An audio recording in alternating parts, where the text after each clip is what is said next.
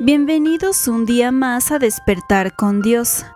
Este 16 de abril celebramos a Santa Engracia y por si no la conocías, aquí te contamos cómo fue su vida.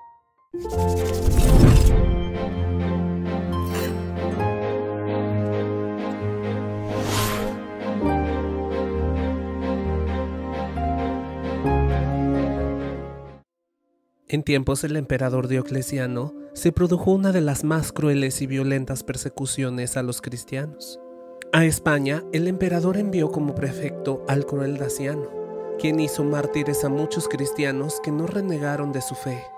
Uno de estos mártires fue Santa Engracia, noble joven cristiana que se encontraba de paso en Zaragoza y estaba acompañada de un numeroso cortejo para encontrarse con su prometido y luego contraer matrimonio cristiano.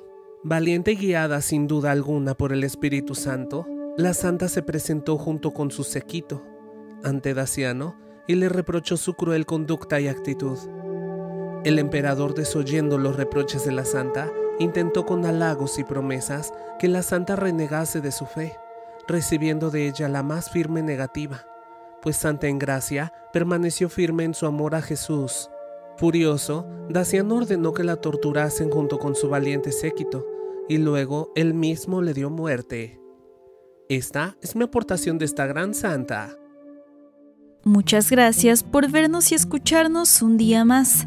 No te pierdas los videos que publicamos diariamente sobre la vida de los santos que nuestra iglesia festeja y los domingos el Evangelio de nuestro Señor.